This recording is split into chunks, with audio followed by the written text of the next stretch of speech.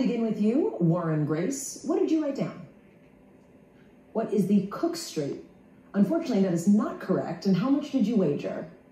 4500 that'll leave you with $100. Marie-Claude Dussault, what did you come up with? What is the Bering Strait? That is correct. And how much are we going to add to your score? $2,601. That gives you $8,201. And finally, Hannah Wilson, what did you write down? What is the Bering Strait and how much are we going to add to your score? 10,000. That's $45,200 in total.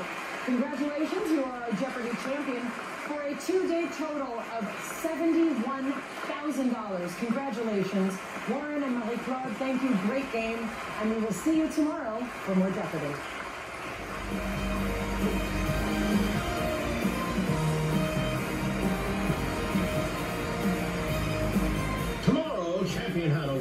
Faces Ashlyn Fadness from Hillsdale, New Jersey. And from Alzua.